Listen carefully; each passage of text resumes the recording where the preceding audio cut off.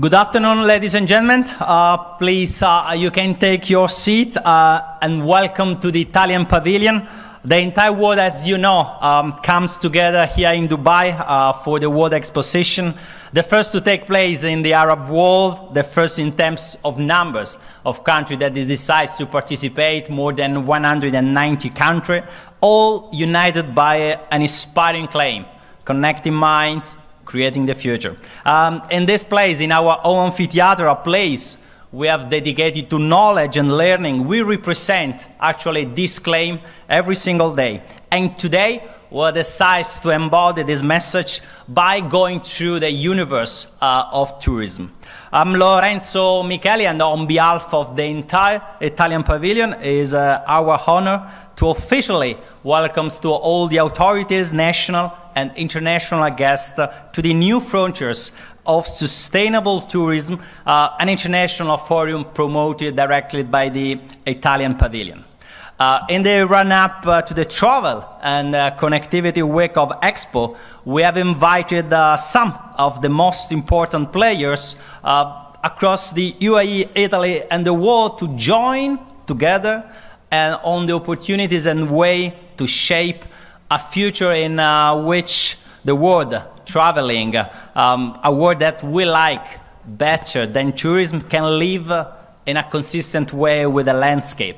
And when we mention landscape today, we would include nature, arts, people, tradition, but also on how to bring local and national policymakers closer to the potential of international cooperation, but also uh, how to stress an horizontal approach in the tourism sector not only this week, um, in which uh, the uh, issue of tourism will be central, but tourism uh, is and has been everywhere during this Expo 2020. We now talk about health tourism, now more than ever, a specific topic uh, we will deal with in the upcoming Health and Wellness Thematic Week.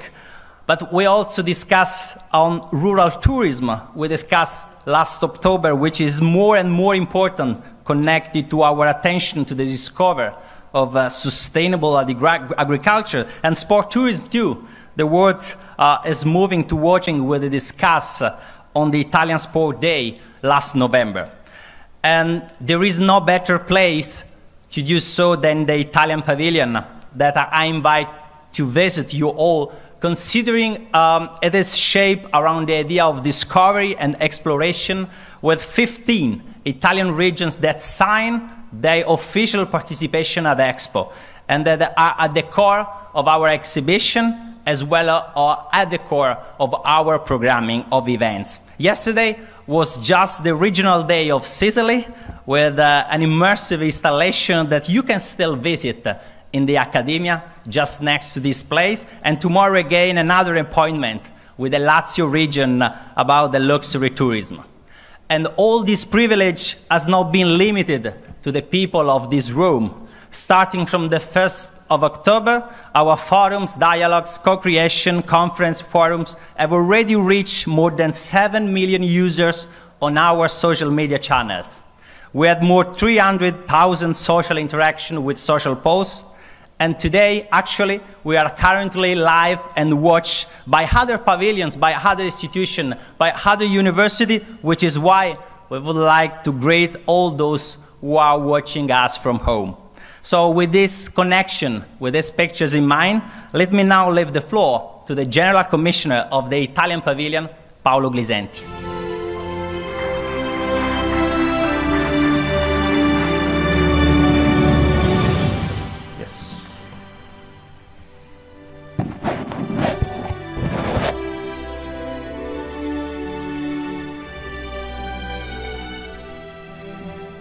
Good afternoon, everybody. I just want to welcome you, especially I want to thank you, thank the Minister of Tourism, uh, Garavaglia, who has given us the honor and the pleasure, the privilege of having him here today in this key event of the Travel and Connectivity Week, including I want to thank uh, the Sicilian region with the Vice President, uh, the Lazio region with his uh, Director General, and everybody else here, our Emiratis uh, friends uh, from uh, DP World and other, and the president of ENIT, uh, who has given us the pleasure of being here. So thank you very, everybody for being here and take this discussion. I just want to remind what, what I usually say at this point of uh, the beginning of a discussion. Dubai is at the center of uh, a world uh, which is key for the future of tourism. We are five hours radio uh, in, a, in a zone where uh, three billion people live, almost half of the world population, of an average age of uh, 29, 30 years old. This will be the part of the world that will generate uh, uh, the most important uh, flow of tourism in the next few years. And the young people visiting Expo are geared, interested in understanding, linked to experiencing tourism, uh, health tourism, uh, academic tourism. We have a lot of students that uh, are deciding now where to go and uh, attend universities in the future, also with attention to the landscaping, the, the, the way of living, the sustainability uh, of uh, uh, countries and places like Italy wants to present. So I want to just to share to you, with you the importance of having this discussion in Expo today. Uh, sustainability is a key element of Expo, but I think uh, it's going to be a key element of your discussion on tourism because this part of the world, the 3 billion people average age of 29, 30 years old, uh, attach a fundamental importance to sustainability of the way of life, including tourism. And it's not only land, the, the, environmental sustainability, but it's the social sustainability, the cultural sustainability, the economic sustainability. So I think this is a very important discussion, and I really look forward to hearing your talks. We have been working for the last uh, couple of years on data provided us, estimates provided us by the Politecnico di Milano, estimating that uh, uh, Italy attracts, uh, attracts uh, about 2%, less than 2% of uh, the tourists uh, coming from this large, wide area of the world.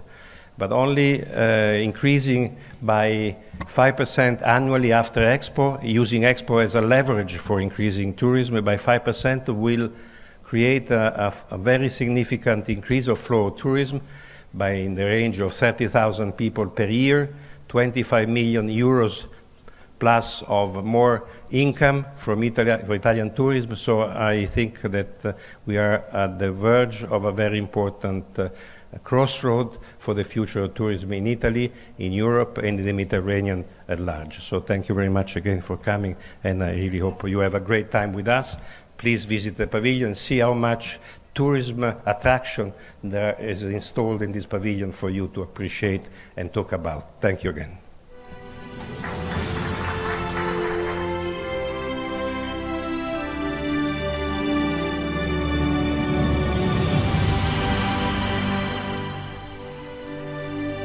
Thank you, Commissioner, for, for this message and on the wave of the number that we have been mentioned uh, on the Importance Day that we celebrate today. Uh, I'm more than pleased to leave the stage to the Italian Minister for Tourism, Massimo Garavaglia.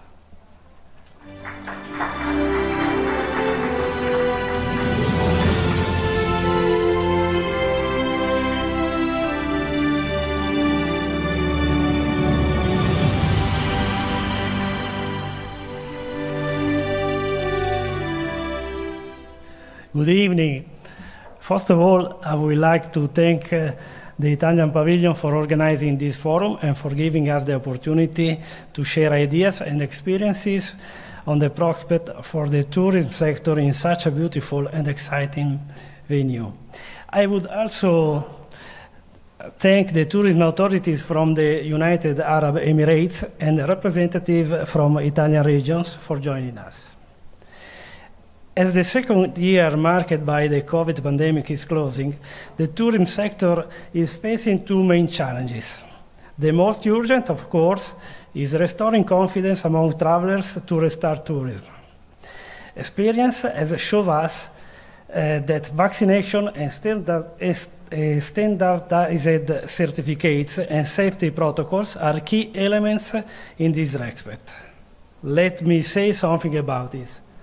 From, a, from an economic point of view, the pandemic has triggered formulas in social behavior that are very similar to self fulfilling pro prophecies. No one denies the presence of the virus, but even effective safety protocols are put in place, there is no need for tourists to renounce their experience. Just to transfer one example, the protection system we implemented in Italy makes it possible to ski even in the, in the, if in the chosen mountain resorts are in the orange zone. We must return to a normal life with and despite of COVID. In the past, I have compared the presence of the virus to the effect produced by a safety car when it, when it enters a Grand Prix. And, and this phenomenon brings us to the second and no less important challenge transforming the tourism industry, making it more sustainable as far as the, as the environment, local societies, and cultures are concerned, and more fit to the new trends and demands that were highlighted by the pandemics. It is a transition that must start now and will have long lasting effects. These challenges were at the core of the Italy's action as the G20 presidency in 2021 let me remind the Rome guidelines for the future of tourism that were endorsed by the G20 ministers and the UN WTO recommendation for a transition to a green travel and tourism economy. The transition to a sustainable and digital future for tourism is a, is a priority in the domestic and the EU agenda. Sustainable tourism will also be in the spotlight in the UNWTO Global Youth Tourism Forum, we will be hosting in Sorrento in June. It will be an excellent occasion for sharing fresh and innovative ideas and view for the future of sustainable tourism directly from the generation that will shape the tourism of tomorrow. Tourists are increasingly looking for sustainable experiences and destinations. The pandemic matched with a growing environment awareness and attention on physical and mental well-being, and he answered a desire for a closer and balanced contact with nature, for authentic human connection, for a diversified and personalized experiences. Green business models and environmental practices are increasing an integral part of the tourist offer. Italy has a huge potential for meeting these emerging trends. My country offers a unique combination of natural attractions, a rich, though not yet fully appreciated cultural heritage, extra, extraordinary no, uh, eno-gastronomy, as well opportunities for sport practices and training.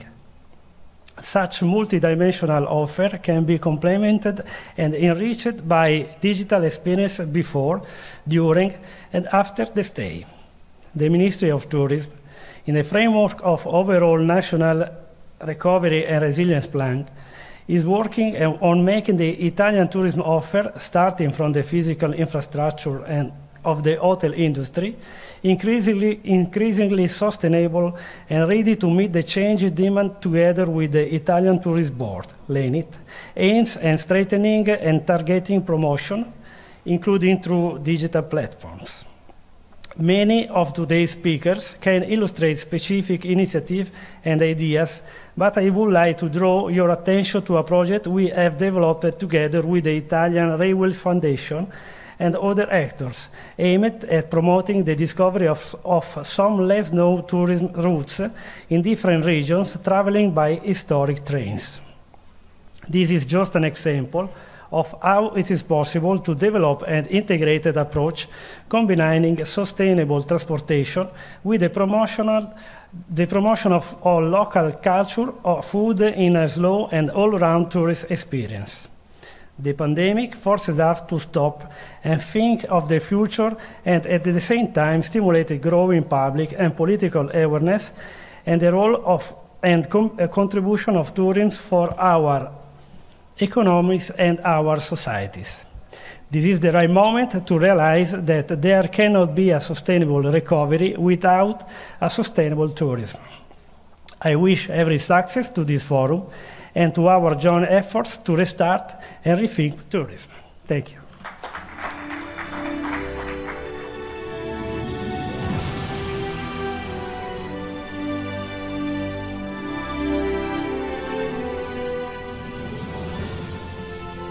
Thank you to the Italian Minister for Tourism. Uh, and now I've been already introduced. Uh, uh, it's time uh, uh, to put uh, at the center of the conversation the three components that we chose today sustainable and safe travel, digital experience, and experiential and slow journey. And uh, I'm really happy because uh, to introduce them and their voices, the voices of all speakers today, there will be two of our youth voices, uh, the volunteers, the mentors of the Italian Pavilion, Giovanni and Giorgia. Giovanni will first tell us uh, a landing story and launch uh, his personal experience of traveling sustainable and slow. And Giorgia uh, will drive through the entire journeys of the three panel session. So please give them to a good round of applause, Giorgia and Giovanni. Thank you.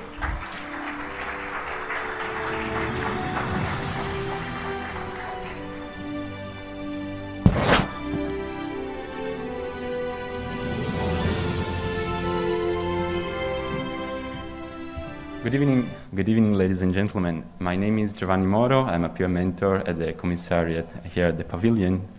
When I was 16 years old, Ultimate Airport Dubai was my favorite National Geographic documentary because it went beyond the, the scenes at Dubai Airport to follow some of the 90,000 employees responsible for over 70 million passengers traveling through Dubai every year. I really enjoyed the documentary because it showed that even events happening thousands of miles away do have an impact on the transportation system every day. Ultimate Airport Dubai also revealed that the disruptive impetus of technology can facilitate journeys uh, for both travelers and workers. And while technology has not lost its innovative potential and it's more and more needed in the present circumstances, much has changed since the start of the COVID 19 pandemic. With most fleets grounded, hotels closed, and travel restrictions being implemented, travel and tourism have become some of the most affected sectors since the COVID 19 pandemic began to spread. Against this background, it was this summer that I discovered a silver lining of the pandemic. Embarking on a five month trip to Polynesia allowed me to meet many people from different islands, to appreciate the time that I was spending with them, while working with friends committed to protecting endangered bird species. I realized that taking time to experience their culture, feeling the nature, is the best way to discover the true essence of a destination. Whether it's dining with a local fisherman, or observing birds all together with the binocular, or dancing with the locals at their culture festival, or again learning to surf from someone who grew up riding those waves. It's these human to human interactions that make our trips so meaningful and so unforgettable. In this land that has inspired many travelers and artists such as Paul Gauguin, I was able to experience a form of slow tourism that enable me to better understand where do I come from, what I am, and where I'm going. In light of the pandemic, we must necessarily rethink the way, we, uh, the way tourism makes uh, us interact with our communities, the way we can adapt technology to our needs, the way we can reconcile fair economic activities with our natural resources and ecosystems. This is the reason why, during today's conference, we seek to cast some light on the new frontiers of sustainable tourism as part of Expo 2020 Travel and Connectivity Week. The journey to making tourism more innovative, safer, experiential, qualitative, inclusive, more sustainable does indeed encompass institutions, business actors, research centers, and associations. And you are all gathered here today under these three halls. And I would like to ask you, how can your synergy make us witnesses of the beauty that connects people? The word should now go to Georgia, a fellow peer mentor, who will be also the moderator of this conference. Georgia, the floor is yours. Thank you. Thank you, Giovanni. Thank you for, for your introduction, but also thank you for sharing your personal story, which will be the key to uh, start our journey through these uh, three panels that today uh, will enrich our, our, afternoon here in this wonderful frame of the Italian amphitheater here at um, the Italian Pavilion at Expo Dubai. So that said, let me go straight to our first panel and uh, let me move on and uh, introduce our, um, the true the true protagonists of, of the forum of today. Uh, I have the honor of calling them here physically in this uh, both real and digital arena, uh, which is the, this wonderful amphitheater. So let me introduce you um, Giorgio Palmucci, which is uh, the president of ENIT, the Italian Government uh, Tourist Board. Thank you very much, Mr. Palmucci, for being here. And our second guest will be um, Hamza Mustafa, uh, the COO and P&O Marinas, the Peninsular and Oriental Steam Navigation Company from DP World. Thank you very much for being here. And we also have Alessandra Priante, the director of the Regional Department of Europe at the World Tourism Organization, who is uh, connected with us virtually um, here with us. Thank you. and Armando Brunini, uh, Chief Executive Officer and Managing Director of the Milan Airports Management Company, SEA, uh, the group which is responsible both for um, Milan Malpensa and um, Milan Linate airports. Thank you. Good afternoon, Dubai. Good afternoon. Good afternoon to you too. And last but not least, we have Rosella Carrara, the Vice President of Corporate Relations and Sustainability of Costa Crociere. Thank you. Um, thank you for being here. Good Thank- afternoon, and good afternoon to all of you. Thank you. Thank you. Thank you to all of you for being here and to contribute to this, let's say, worldwide debate that is taking place here, not only at the Italian Pavilion, but at Expo 2020 Dubai. And it's time for our question time to start altogether. So my first question uh, will go to um, Mrs. Priante, uh, who, as I said, she's currently working at the um, United Nations World Tourism Organization, uh, which represents, um, as you probably know, the worldwide organization promoting uh, tourism uh, as a driver of, um, of economic growth, uh, development, and environmental sustainability. Uh, the UN has uh, recently uh, launched a project and their committed transition to the uh, net zero before 2050. That, of course, will only be possible um, if we accelerate the tourism recovery uh, and the adoption of, um, let's say, sustainable consumption and production. Um, Mrs. Priante, how, in your opinion, the international community can collaborate, uh, let's say, in uh, shape, is shaping the future of tourism, focusing especially on the emergencies that we are, uh, that the, the, current scenario is actually um, uh, is actually happening now, and what are the challenges? First of all, Georgia, allow me once again to greet all of you. It's a real pity I couldn't be in Dubai with you. Dubai has been my home for five years, in uh, great years. So I, I really would like to, to give a big greetings to not only the city of Dubai, but the, the UAE as a whole, who uh, last year celebrated their 50th anniversary. So, assalamu alaikum wa rahmatullahi wa barakatuh to all of you and uh, you're very lucky now to be there in this fantastic city.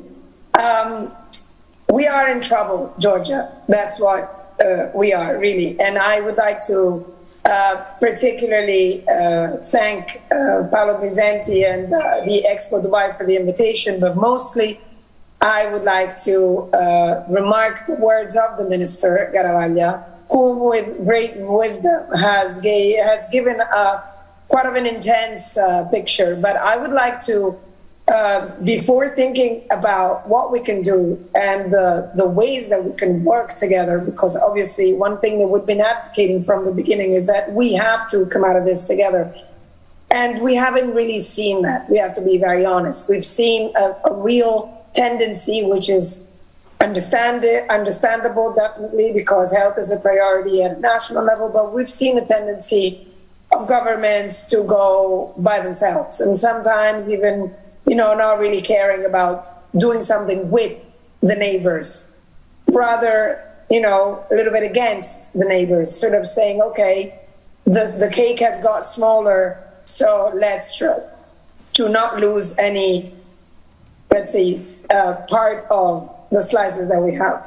But to give you an idea of the numbers that we have forecasted that this year is going to be the year where probably the social costs of this pandemic are going to be there the most in terms of job loss, in terms of death rate of small and medium enterprises. Uh, we would like to give you a very fresh overview of this is an absolute premiere that I'm giving to you and Dubai. These are our newest data updated on 31st December 2021. And this gives you the picture of the loss of international tourism arrivals. We've all been very clear that we've lost a lot. Nevertheless, we also wanted to show that 2020 we recuperated because the minus was just 20% when compared to 2020. But we're still very close to 80% when compared to 2019. So we're still incredibly far from the levels that we reached in 2019. Nevertheless, we have to be very sure about one thing, and we've always said this in every situation. Do we want to go back to these numbers? Is that sustainable? You very correctly pointed out our new strategy of carbon neutrality by 2050, something that we at UNWTO are taking very dear to heart because we're now shaping a new fund for the, the climate neutrality in tourism, especially through the leverage of sustainability, which is our main driver, our main goal. But we have to ask ourselves are these numbers something that we need to go back to? Definitely, we need to increase the turnover. Definitely, we need to give companies, hotels, hospitality, uh, airlines, cruise operators, railways, and anybody that is related somehow with tourism a breath of fresh air. And this breath of fresh air is not there yet. So we have to really be aware that we're facing a crisis which we have never seen and we have never expected. Therefore, Georgia, we were not prepared. And definitely, as uh, Minister said in one of his recent interviews, and I was very pleased to hear it, uh, in uh, we are much more prepared now than we were in the beginning. So one of the things that we definitely need to change, all of us together, is the way that we communicate. Because if we continue communicating in a situation where uh, things are being held as dramatic as possible and people are being fear, uh, living with fear and staying at home rather than going on vacation or canceling everything, we are definitely not going anywhere. So we need to make sure that we have the numbers right, especially for us to be able to design the right policies to recover. And so we need to ask ourselves good questions. And us at UNWTO, we try to provide the governments and the tourism operators of the world with the best possible market intelligence. Please bear in mind that we were the first advocates of rural tourism, for example when we just said that 2020 was going to be the year of rural tourism, we realized that rural tourism and tourism for rural development is one of the major keys to recovery because domestic and nearby still keeps all our country's industries alive.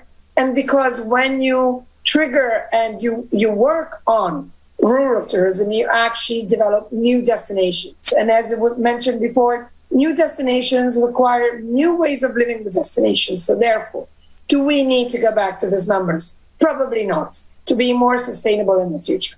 But we need to be sure that we know what we're facing. And we're facing incredible losses at macroeconomic level. And therefore, we are expecting really to go into a different situation in the years to come. And this is why we're very confident that one of our latest forecasts, which sees a recovery during 2022 and 2023, I don't know if you can look at this graph, you will be able to see that probably the Middle East is the one that looks the most optimistic. We really need to work together for this. And for togetherness, we need something very concrete. We need harmonized protocols, simple measures, a better communication, and really a greater coordination between countries, especially for countries in the European Union that were able to enjoy the Schengen uh, uh, area, so that we're able to travel without any form of restriction. We need to make sure that we're going back to a safe situation that really allows the tourism industry to recover and to go to situations that are really allowing everybody to restart their business in a way or another. Otherwise, we're just going to see that companies are firing their employees and governments are trying to follow up as much as possible and as strong as they can. So, once again, with this togetherness wish, I would like to really thank you for your attention and please uh, bear in mind that we at UNWTO are your complete disposal. Shall you need anything? And we are always supporting the governments of our member states, in this case, specifically Italy, of whom we're very, very proud for the way that uh, they've been, they've been facing these dramatic situations in the last few months, and the United Arab Emirates. Once again, God bless you. Thank you very much. Thank you. Thank you very much, Mr. Priante. Your message is, is clear. Right policies from institutions and operator, tourism operators. And I'm sure that um, our audience will be able to catch your message. Your message was um, absolutely clear and will um, make the best of, uh, um, of their work to comply. And thank you for, for your um, data and for, and for your words, which of course are, are fundamental to understand uh, what you were saying to us. But uh, let's see what is the, the answer of the, of the Italian of the Italian community in this sense. Uh, Mr. Mm, Giorgio Palmucci, as I said, is the president of ENIT. Um, ENIT is um, is the tourist, the government tourist board, which is uh, um, which has the task of, of course, promoting the uh, the, the image of uh, of the national tourist office, of course, encouraging its its marketing. Uh, it takes care of all the promotion of the tourist abroad. Um, there is a great desire of Italy, they've said. Um, the world is, uh, is desiring Italy. How important is, in your opinion, the implementation of sustainable strategies in the field of tourism in Italy in order, um, in order to implement and exploit uh, this desire that is, um, that is flourishing? Thank you, thank you very much, Georgia, and uh, thank you to uh, Alessandra for the message about the vision all, from all over the world. And uh, I'd like to really thank you very much, uh, uh, Paolo Glisenti, for the um, uh, hospitality and, of course, also for this visit, the visit we made this morning. It was my second one, but it was more and more interesting, especially when we talk about sustainability. And so, and um, well, for us, for Italian, it's true that as uh, Alessandra said, a worldwide pandemic was a disaster. We lived two years uh, of disaster, but uh, I think that we learned a lot. We, it was, it's very important what we learned and what, what everyone, everyone in the world learned um, because of the pandemic. First of all, the importance of tourism. The importance of tourism worldwide so important for travelers, uh, not only for uh, some uh, countries, but all over the world. And at the same time, is the importance of, uh, uh, how to avoid the mistakes made in the past. Because, uh, for example, I remember that in 2019, that was the best year for Italian tourism. We made more than 440 millions nights, hotel nights uh, in Italy, 50% from abroad, 50% domestic tourism. But uh, the problem, I remember that I was in, uh, I was uh, invited to the uh, G20 for tourism in, in Japan, in, in, Japan, in, Japan, and it was incredible because uh, sustainability was only in terms of over tourism. The problem was the over tourism, and now we have, uh, well, it's very important to avoid the over-tourism in the future.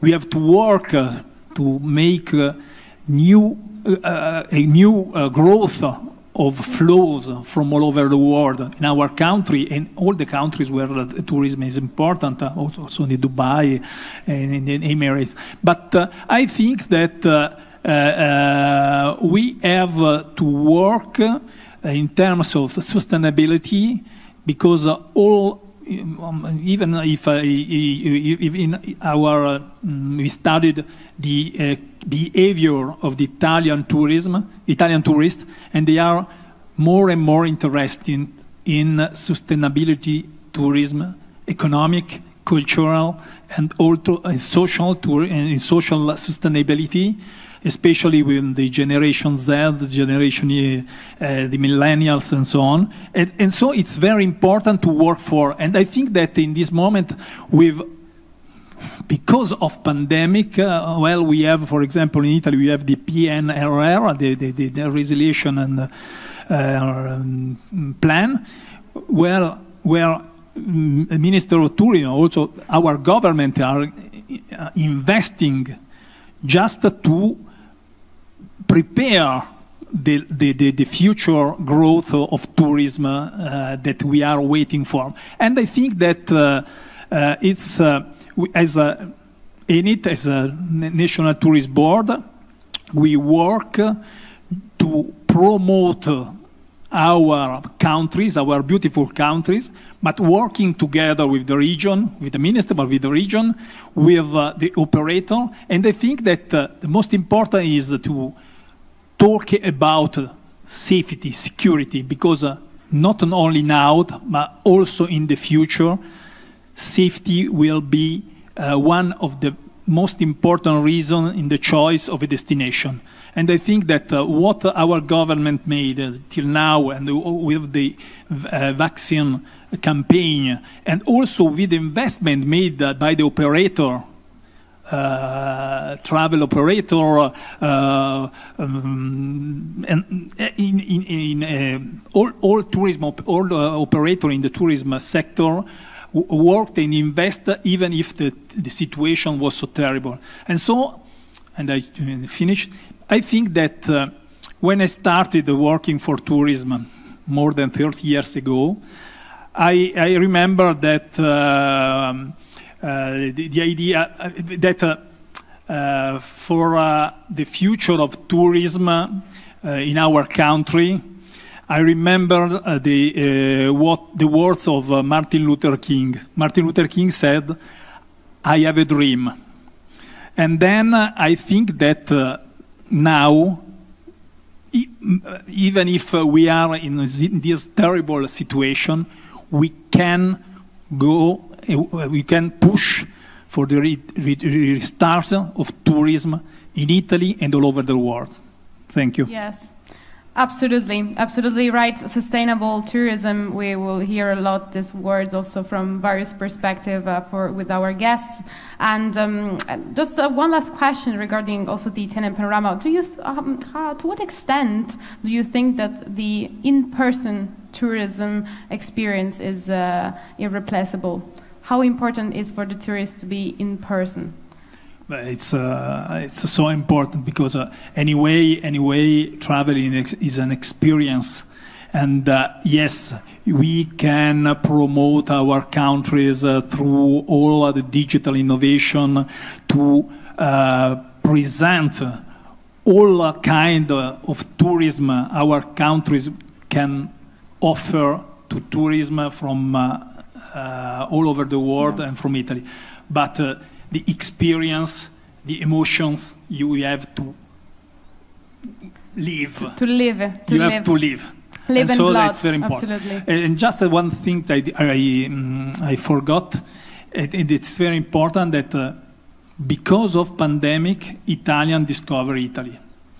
Because uh, Italian don't know Italy, uh, don't know the offer of the Italian destination, of Italian tourism, and uh, because of pandemic, uh, they had to, but they discover the 58 uh, UNESCO sites, uh, they discover the Borghi, they discover, they discover our country. And I remember that I was with uh, the, our minister in uh, Catholic University Milano, and they presented the study, and this study, 50% of Italian even didn't, they didn't know the number and the name of the 20 region.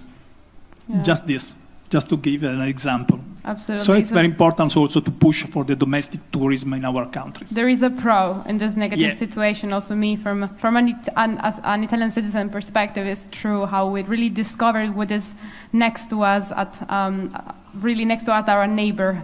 Um, thank you, thank you very much, and. Uh, uh, now, I wanted to make a quick question to Armando Brunini, um, the CEO of the Aeroporti di Milano, uh, SEA company. Uh, your company is, of course, uh, one of the 10 biggest uh, airport operators in Europe for goods, for both goods and uh, passenger traffics but also is the, the second, the second biggest in Italy for the number of passenger yield and the biggest uh, for the goods uh, transported.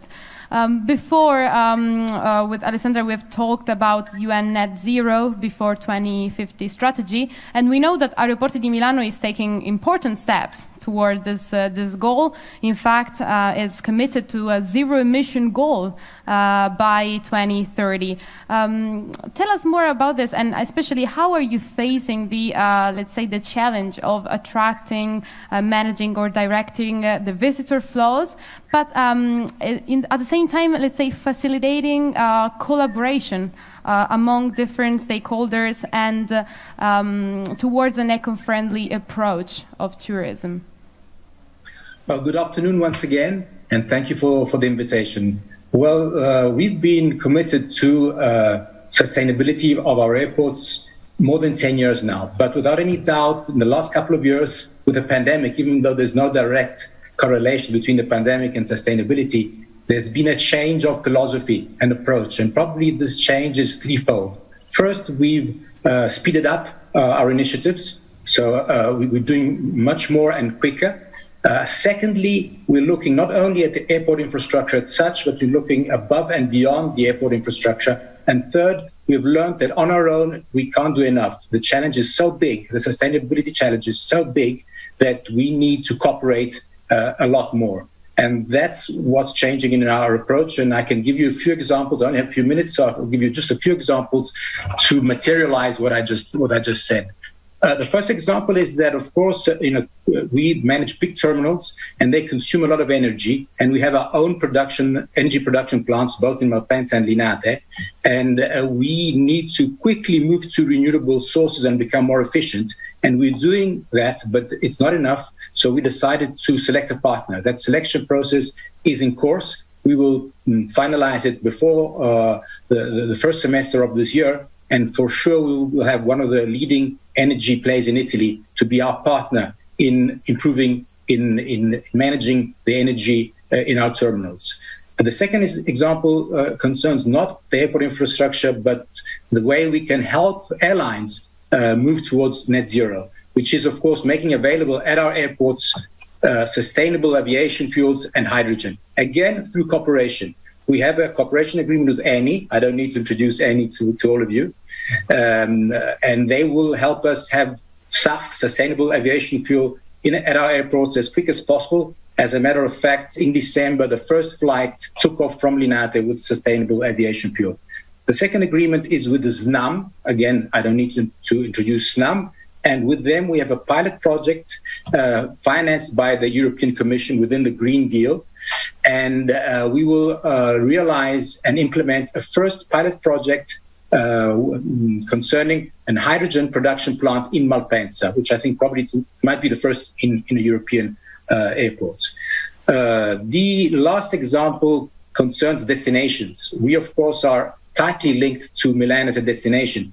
The vast proportion of uh, the, our passengers are tourists. Of course, we have business passengers, but the vast majority are tourists, tourists which move out of Milan towards the world, but a lot of tourists coming into Milan. And actually, Milan moved up the ranking of the most visited European cities before the pandemic, and certainly we want to help Milan.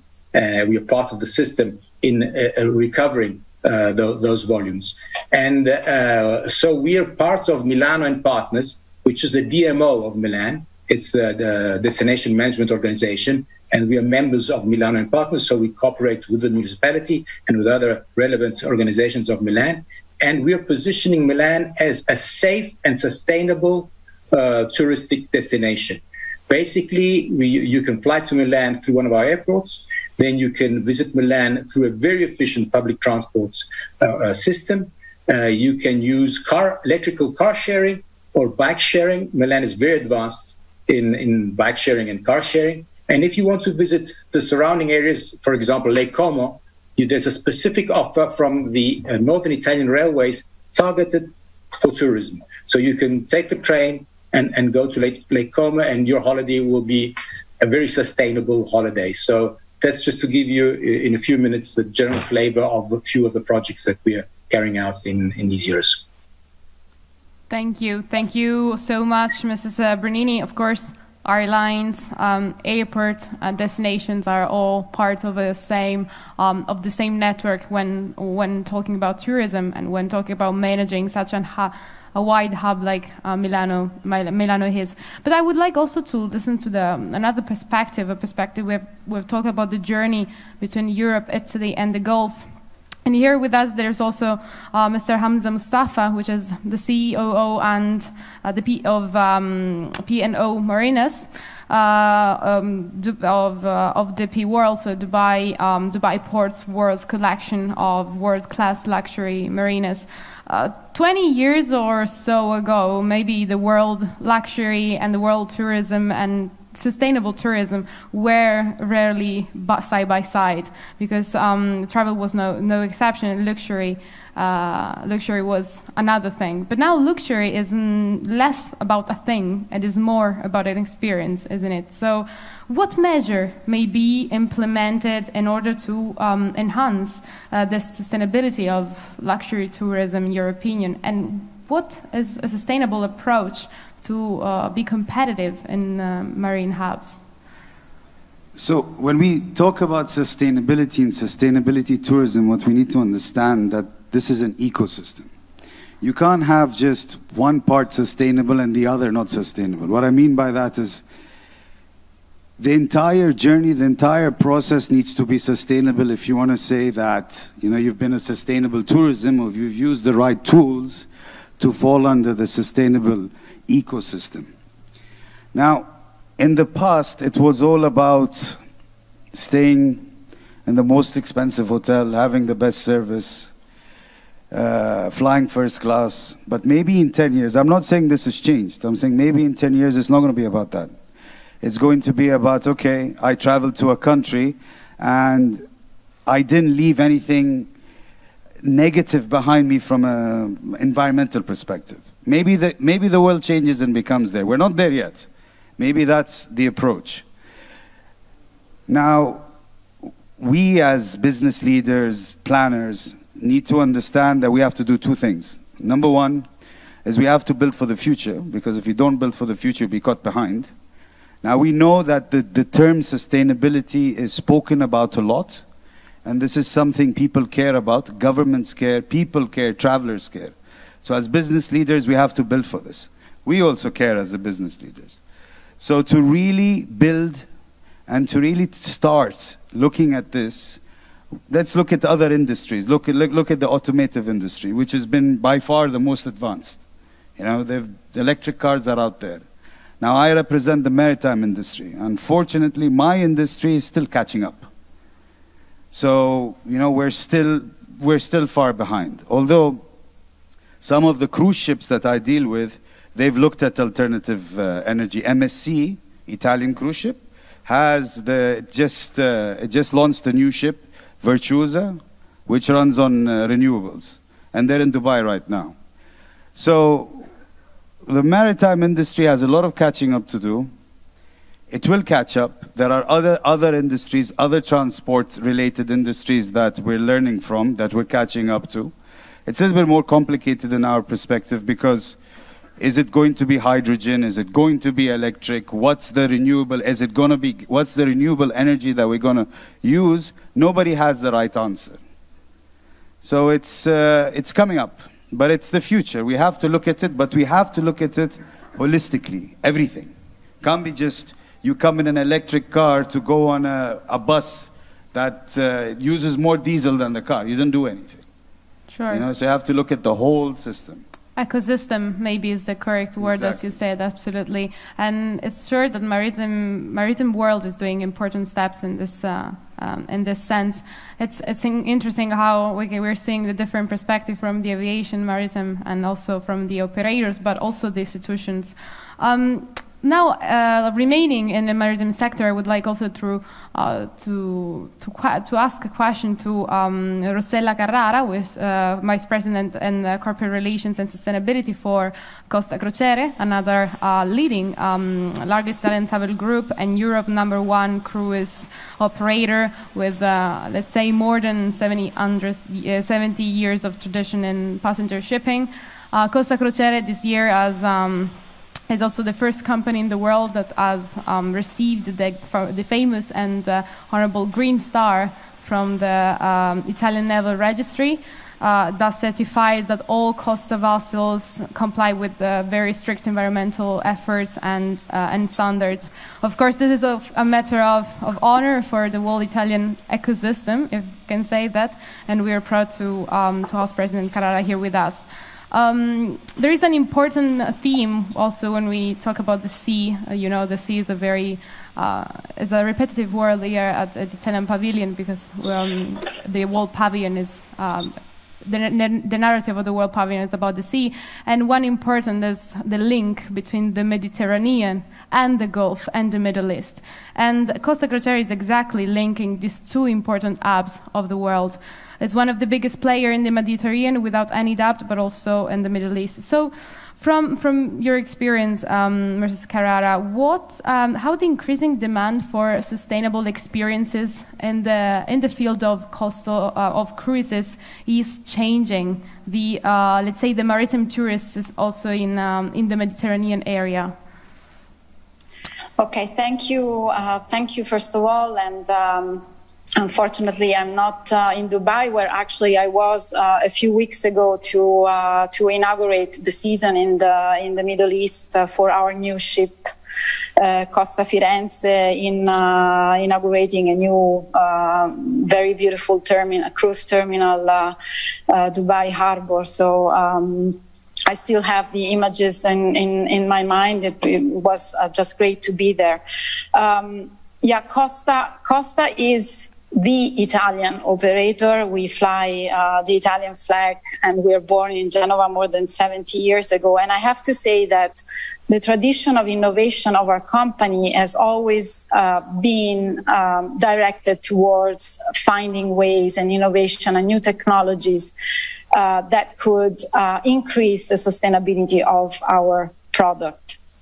For sure, uh, this is um, uh, a path that we had taken uh, a long time ago, even in times uh, pre-COVID times. Uh, we've been, for example, the first to invest and create the whole infrastructure for LNG. so we are the only group that now has four ships run by liquefied natural gas in the world. Um, and this is you know a technology that uh, decreases uh, uh, emissions. Uh, it's the, the, most advanced available in the maritime sector right now.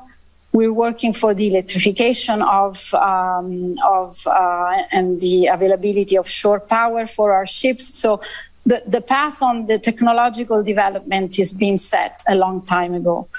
Um, what we believe and what we see is that our clients, our customers, more and more look for enriching experiences.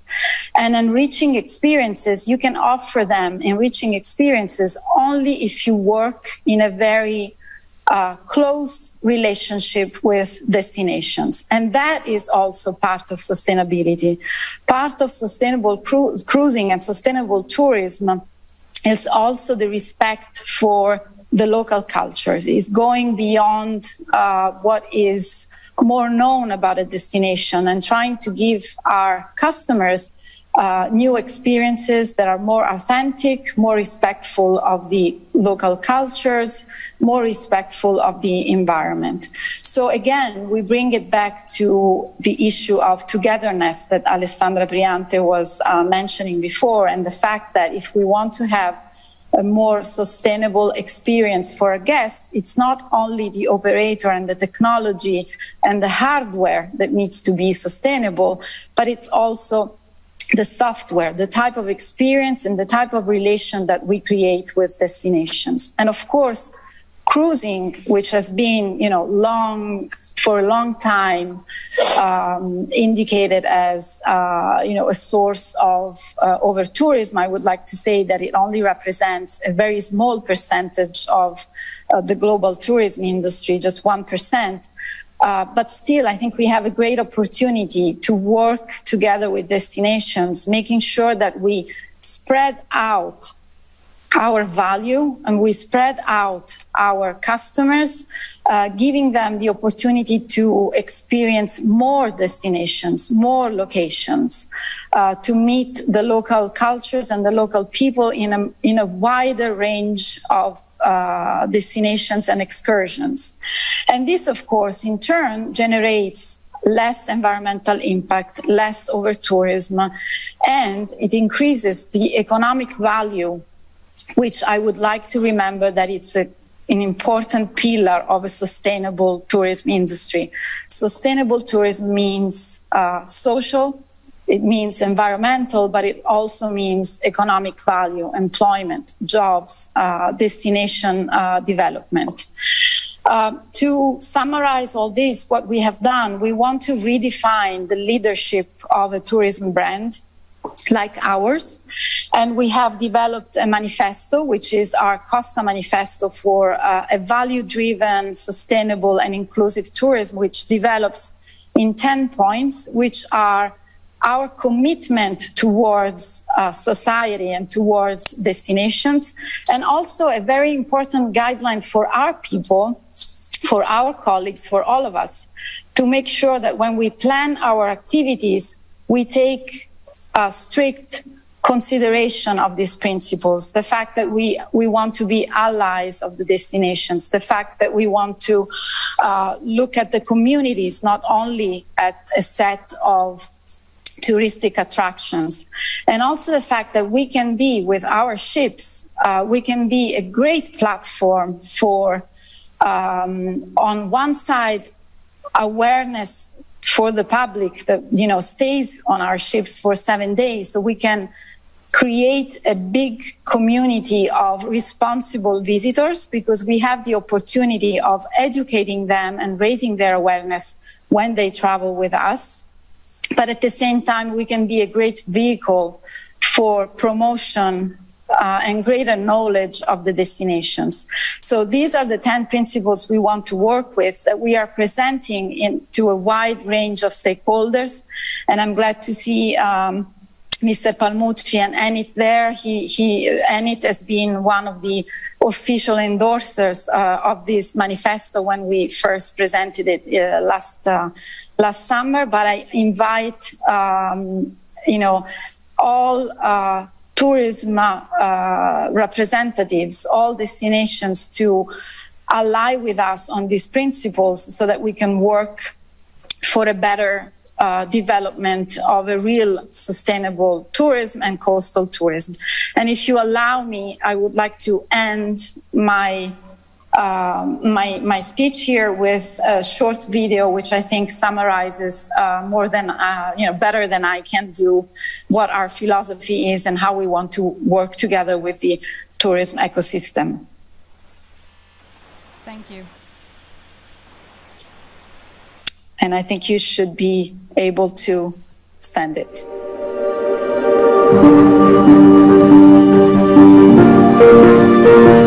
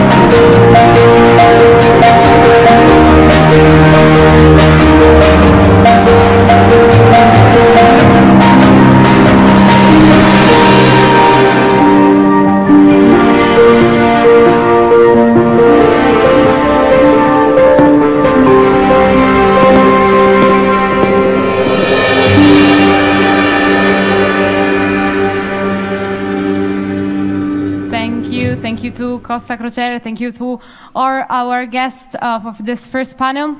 We thank you very much for being with us and um, and for sharing your, your experience about tourism. Please, a round of applause for this interesting and incredible debate. Let's Without losing any time, I would like to uh, go on, on, the next, on the next panel uh, that will now focus on digital experience. Um, and uh, it is now a deep pleasure to introduce you the guests that will be the protagonists of this, of this panel. I'm talking about Carlo D'Asaro Biondo, the CEO of uh. Um, thank you, thank you for being with us. Please give a round of applause for him. Thank you very much. Also, thank you for um, Quang Ngo Dinh, the CEO of Olivetti. Thank you also to you for being with us. Thank you very much.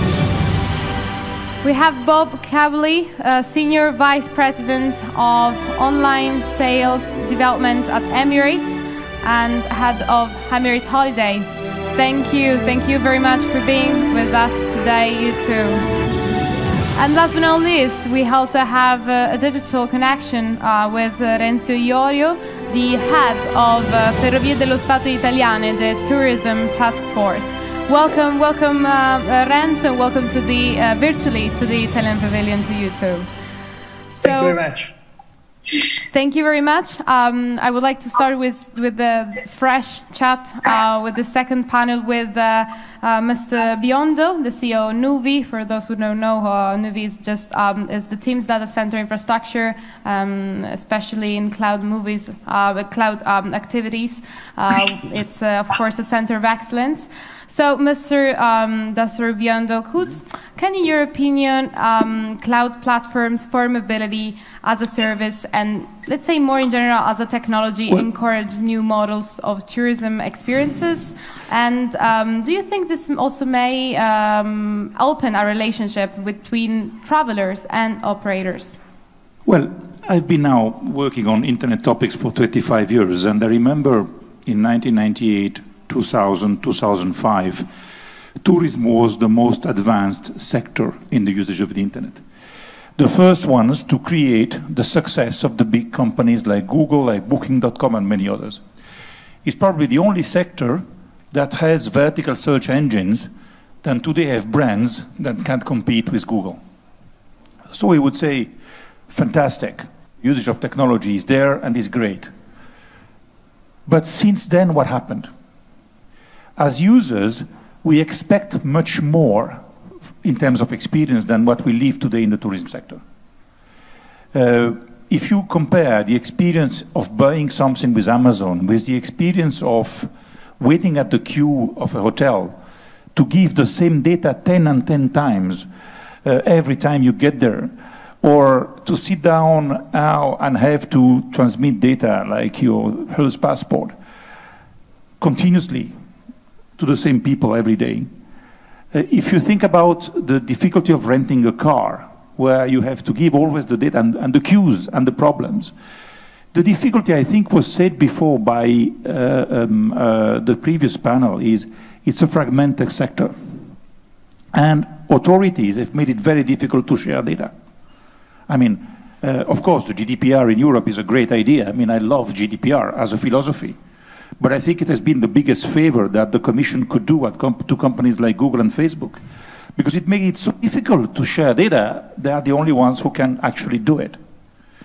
So if we want to be serious and create this sustainability and want to make change, there are a few things we need to do to help the sector. One, adopt technology for the information systems of the tourism companies. So yes, cloud technology that allows to use the information system of very advanced companies for a low price is an important one, but it's not the only one. Two, really create it after 25 years we talk about it, you know, the experience passport. I mean, I have a watch like this. I just transmit the data. If I want to a hotel, to, a, to any chain, I can, people can know what I love before I get into a restaurant. They can know the allergies of my wife uh, or, or because she's allergic to fish, or other things, easily. We don't use the potential of technology in tourism the way we could and we should. And today, it was the most advanced sector 10 years ago. Today, agriculture, finance, retail are using technology much better than tourism. The reason is fragmentation and difficulty of sharing data. If we want to fight against those things and do something about it, tourism can get back to the place it should have, which is the first one in user of technology because it's a sector that needs it more than any other else. Yes, absolutely. Data and fragmentation, and about data, of course, um, Mr. Quang Ngo Dinh uh, would absolutely tell us more about it. Um, uh, Olivetti has, has, been an historical brand of the Italian factory, uh, and for the TIM Group's of IoT, Internet of Things solution with a vast portfolio, so and 5G technology.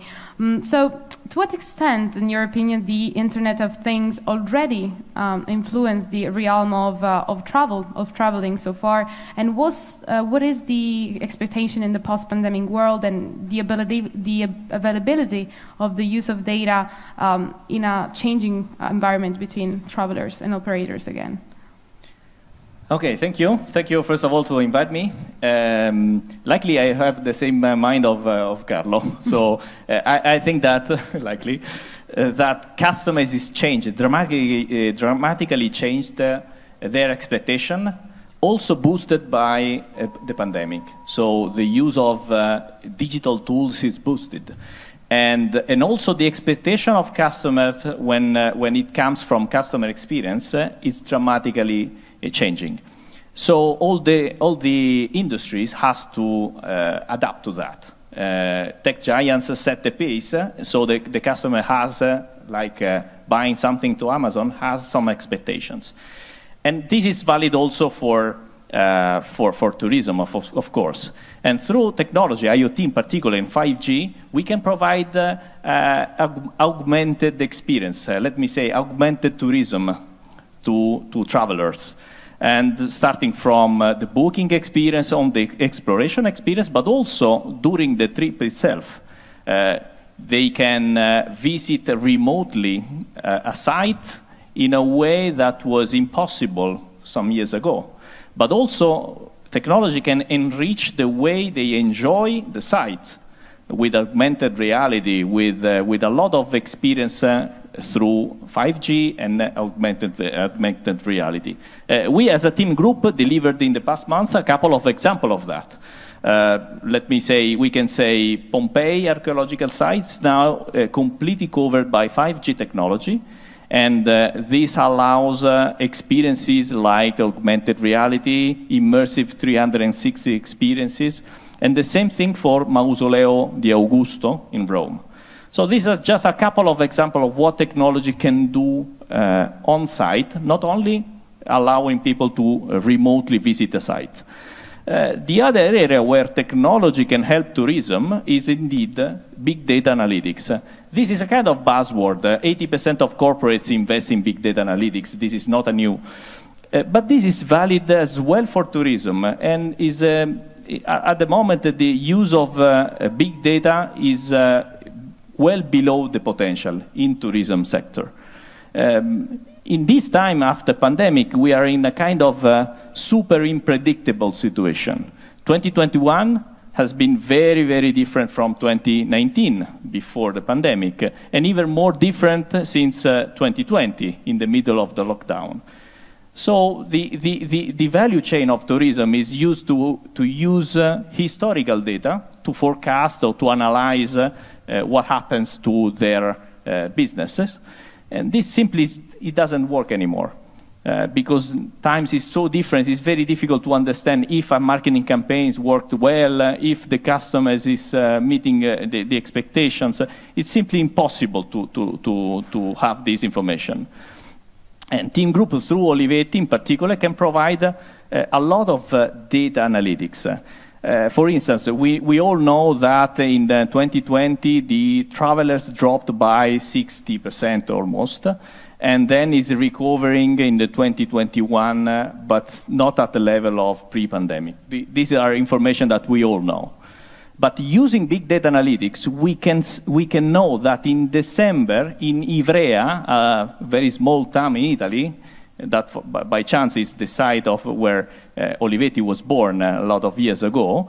That is a very small town. I can, I can measure the, the number of tourist, uh, tourist, uh, touristic flow uh, in December, in January, or this, the day of Christmas, we can understand if the um, people, uh, where they come from, from Italy, from other uh, places, uh, if they took a car, a train, a plane, if they stayed the night uh, or they stayed another, in another place. So all these information are, are available. The, the, the op touristic operator has to access to it. It's very easy. And this is a, a concrete lever to navigate uh, across these unpredictable times. I, I, I, hope that the tourism, tourism industry will recover what uh, they lost uh, uh, due, due, to the pandemic. But I'm sure of one thing. Without technology, this is simply impossible. Technology is now a mandatory ingredient to the recipe. Yeah, thank you very much. That's that's actually uh, very true, and also I think um, Mr. Bob Kabley will surely confirm what um, the previous guest will has said. Um, he's um, senior vice president of online sale in Emirates. Uh, Emirates, particularly, is, uh, um, is it's operating in a hub which is absolutely connecting the Europe and Asia. Is a, it's, a, it's a cross-sectional point where uh, everything meets. And um, in fact, in your opinion, digital economy uh, will be uh, maybe fundamental in the in this transition. And um, and how, in your opinion, is uh, the process of uh, the digital economy will help in the process of communicating uh, with tourists, with visitors, and also help in the marketing tourist services. Yep, thank you for having me. And uh, yeah, Emirates, um, in terms of digitization and the digital economy, we found, just like many other industries that were referred to in the previous panel, and now they've been disrupted. If you look at the car industry, we talked about fashion, retail. Um, if you look at food delivery and things like that, there's been a lot of change. So, from an Emirates perspective, um, and obviously I do online sales, we've seen a lot of change over the last few years. For example, when I travel now, you know, the first time I may potentially speak to somebody is when I'm on board the aircraft. So through a combination of airports and what airlines are doing, there's a very seamless way through. Um, and without the paper, when you're carrying something like 60 million passengers a year, each piece makes a difference in terms of what we do.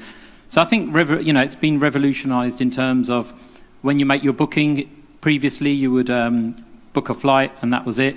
Now, prior to that, you've got fare brands and ancillaries. You have an opportunity to decide how much flexibility and what you want to pay for that. The customs have got the choice of how much baggage they want to carry. So there's a lot more flexibility before. When you're actually traveling, you know, we're giving you a lot more information about the check-in, boarding gates. It's all mobile, um, digital. I think mobility will play a key part, and I'm talking about the actual mobility of the person. So a device is almost a standalone device. Today, if you lose your device, everything is stored on the cloud. You know, we were talking about that earlier. So I think leveraging all this in terms of personalization will be critical. I think, again, nowadays with that seamless journey, before I travel, I can check the menu, um, I can look at what movies I want to watch on our in, in So it's almost making it stress-free, seamless travel, where it's always been a little bit antagonistic previously in terms of your travel. So what can we do? Can we gamify things to make it even more fun to travel? Um, I think once you're on the on board, again, it's a physical product, so there's degrees of sustainability and um, things that you can do in terms of the environment. I think we've looked a lot at what we can do with our amenity kits from sustainability perspective. Our blankets are made from recycled plastic bottles. I'm not an engineer, but you know, at, at the, if you extrapolate what we do, that's saving 3,000 bottles an hour from the landfill. So small things once you get to the destination, um, we're trying to work closely with our partners from Emirates Holidays perspective in terms of people increasingly want um, hotels that have got sustainability kind of guidelines. There's nothing really globally. But I think all of this combines together in terms of what we can do. From a marketing perspective, I think things again like the mobile app and things like that, we can reach people before you would plan your journey before you travelled, and that was it. You had to have it all done. Now people are constantly changing plans, amending things. If you look at events and tours and things like that, I think most people here would agree you actually book it when you're at the destination or on the way there rather than before. And I think digi the digital economy has facilitated that in terms of booking. Again, tickets are paperless from our third party providers or whoever may, you may use. So I think that's been a big part of it.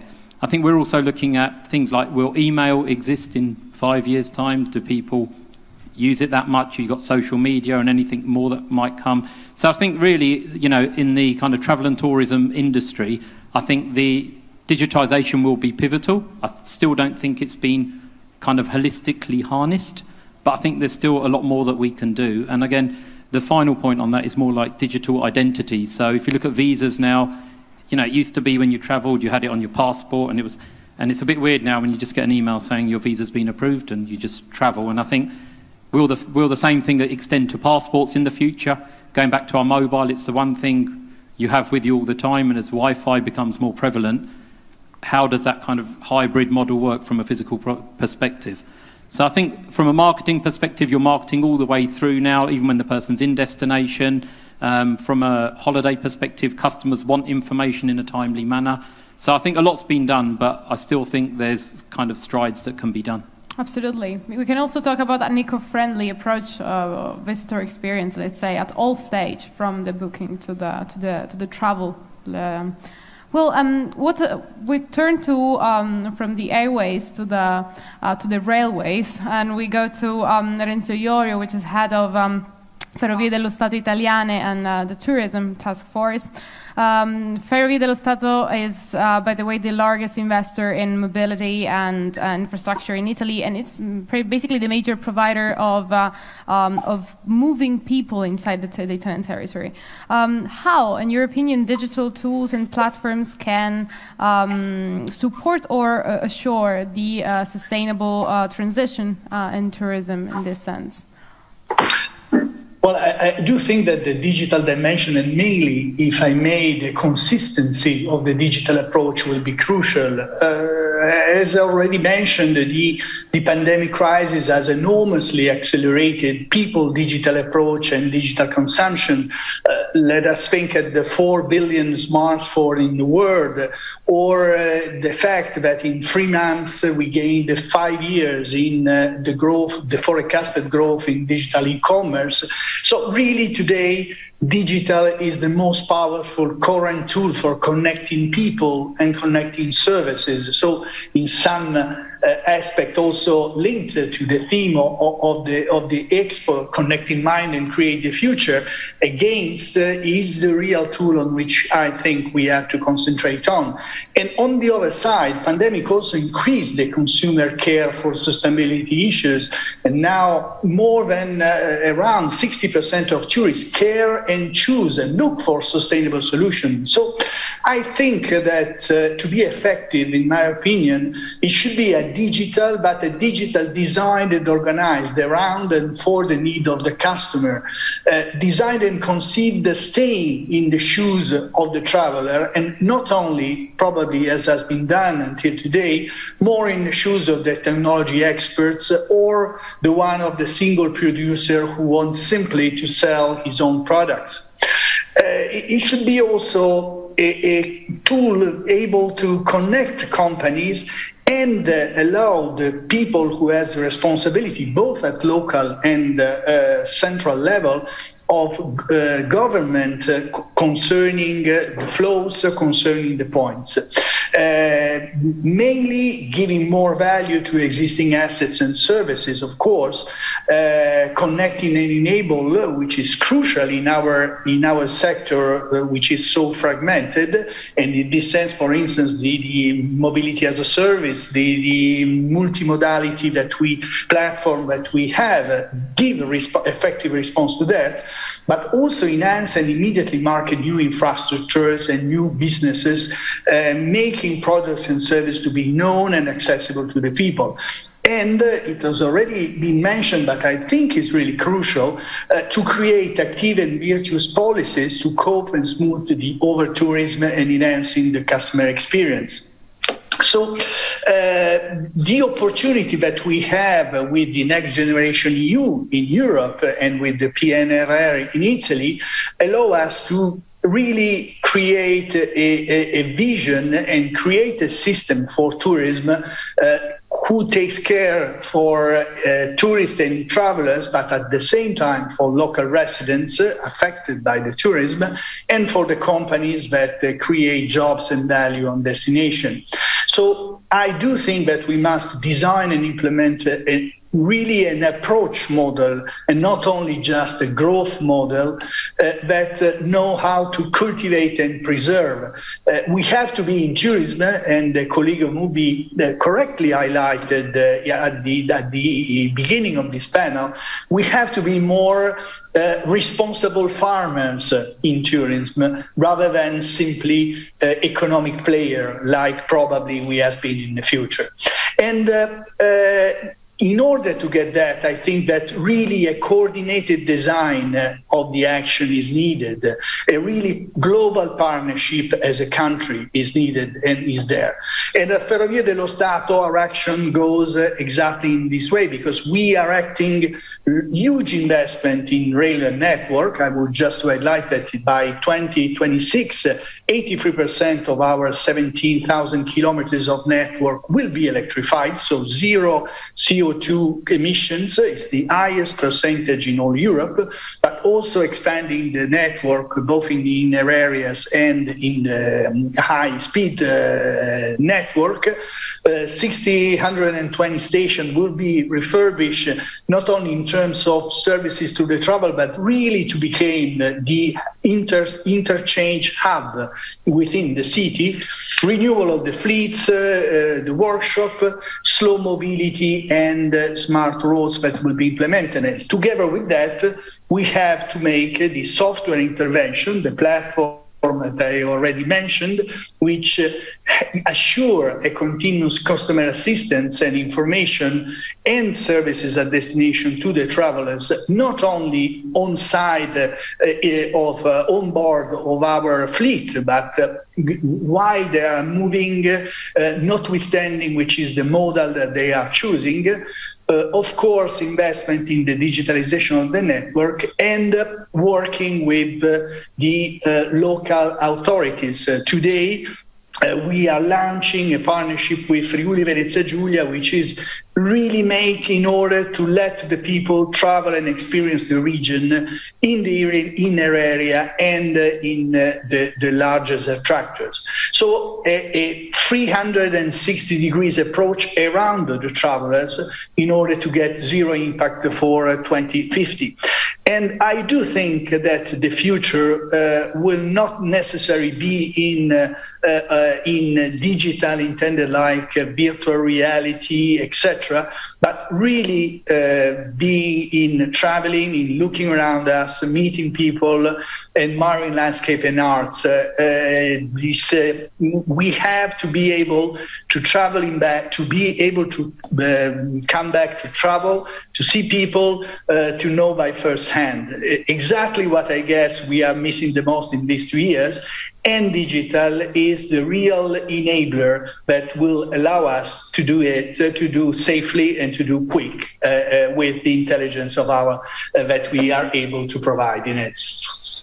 Thank you. So connection, digitalization, and I would say eco-friendly approach uh, tourist experience uh, are the three keywords uh, for the future of tourism in the digital ecosystem.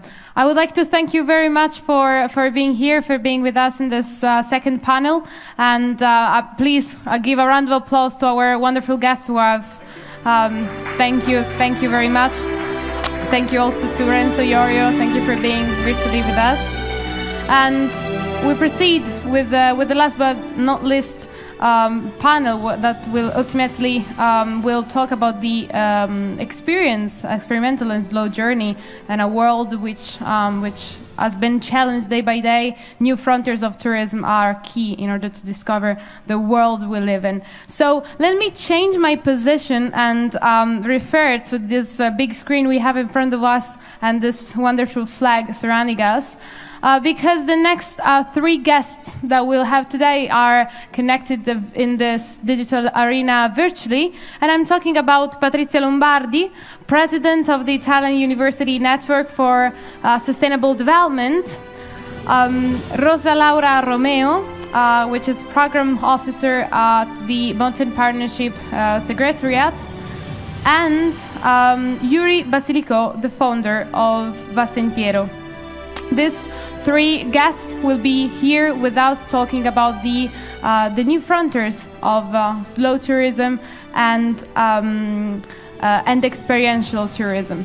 I don't know if we have already the connection with them or um, if you're experiencing some problem. This is the, of course, the, the, the good part of the live sessions that we at Italy Pavilion try to always uh, always put in place, notwithstanding all the difficulties.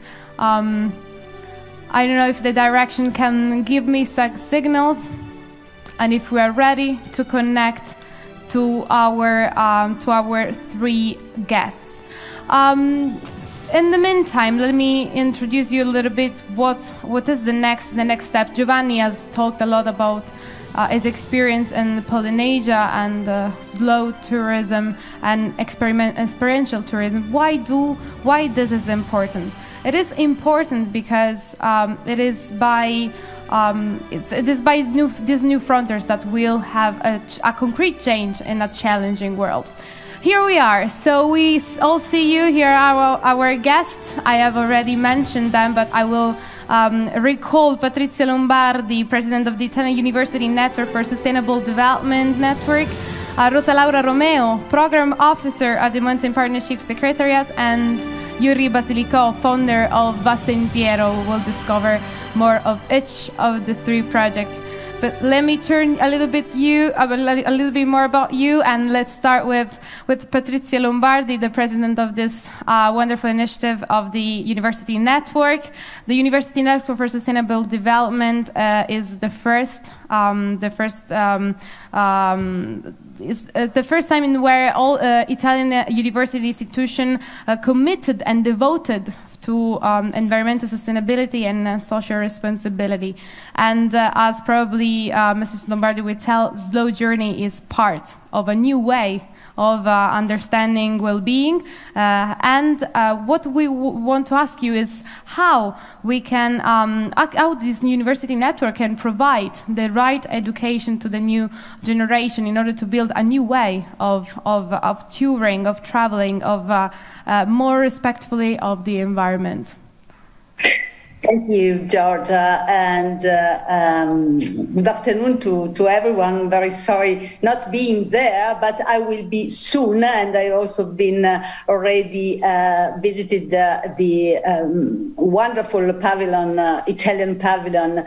Um, well, I uh, today uh, I, I, really thanks the organizer for this invitation because it's very important to bring to this discussion also the viewpoint uh, of this um, slow journey. And uh, I'm going to uh, present it uh, in connection with uh, uh, the mission of our university network, which involves more than 80 universities in Italy, with the aim of promoting Agenda 2030 and um, helping all local communities to Mm, make uh, and accelerate the transition towards sustainable development. Um, well, we, we understood that uh, as universities, uh, we play a major role uh, uh, in this transition um, uh, because we are institutions that provide education, first of all. So we educate the future manager, but also the, the future citizen. and, and also um, we provide innovation and research and also services to society. And this is the reason why um, we decided to, um, to bring and to collaborate together in, in order to um, help uh, uh, all Italian system in, uh, in this transition. Uh, we work across different working groups um, and, uh, and we promote and sensibilize um, communities. So not only students, but also um, university staff and local communities, citizens are all involved in, uh, in our um, awareness raising uh, uh activities. And I'm, uh, uh, I would like to, to talk particularly on one specific um, event that we develop every year, and we have started very before the, the COVID. Um, the, the, the slow journey is about uh, um, climbing for climate. So it is a, a awareness raising activity that uh, uh, try to uh, make uh, uh, people aware of uh, uh, the consequences uh, uh, of climate change uh, and of the uh, global warming. Um, we, we, all know that climate change is uh, uh, really very problematic, but sometimes we need to be more close to understand better the consequences that are uh, dramatic uh, uh, of this um, problem, of this planetary problem, particularly the loss uh, the loss in uh, biodiversity mm, and also, uh, well, the melting of the glaciers.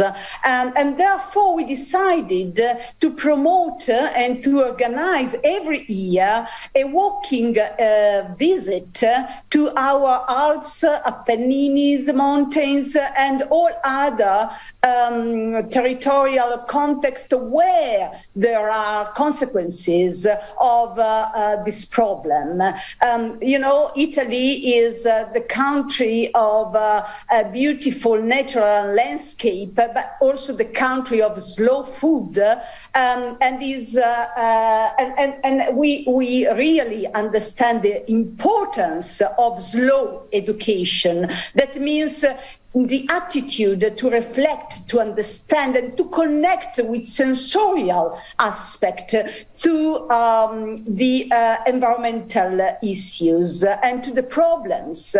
Um, this is why we started in 2019, thanks to the idea of one of our university member, the Brescia University, and with the cooperation of the Italian Alpine Club, we have started this journey and we started to walk um, across uh, um, the uh, Adamello uh, Alps glacier. That was the first one that we walked. Um, during the lockdown, uh, uh we decided to promote as well uh, a, a, diffused event where uh, more than 30 universities and about 15 regions have been involved in um, this sensorial experience in order to understand understand really all these consequences. And why is important? Is important because we, uh, we recognize that everyone play a role